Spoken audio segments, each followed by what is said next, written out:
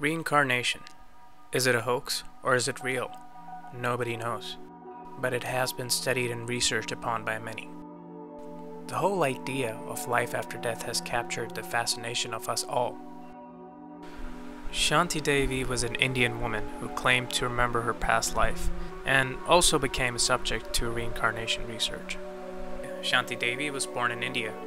As a little girl in the 1930s, she began to claim to remember the details of her past life. According to these accounts, when she was about four years old, she told her parents that her real home was Mathura, a town where her husband lived, about 145 kilometers away from Delhi. Discouraged by her parents, she ran away from home at the age of six, trying to reach Mathura. Back home, she stated in school that she was married and had died 10 years after having given birth to her first child, after being interviewed by her teacher and headmaster. She spoke in the Mathura dialect and also revealed the name of her husband from her past life, Kedarnath.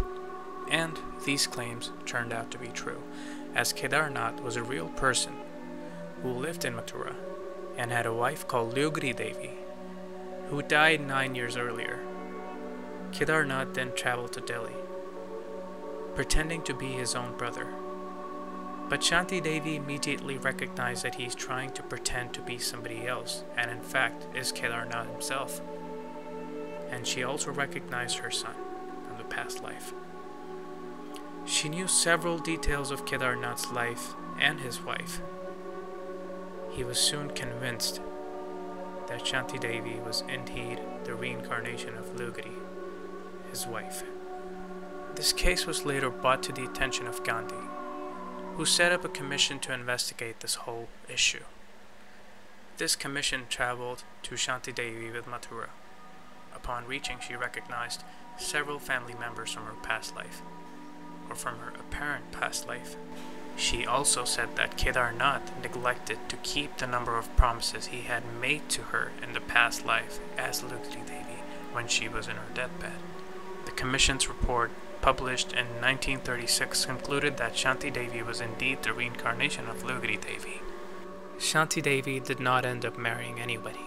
She told her story again at the end of 1950s, and once more in 1986 when she was interviewed by Ian Stevenson.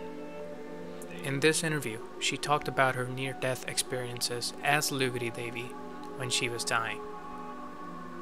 Life is and will remain a mystery to us all.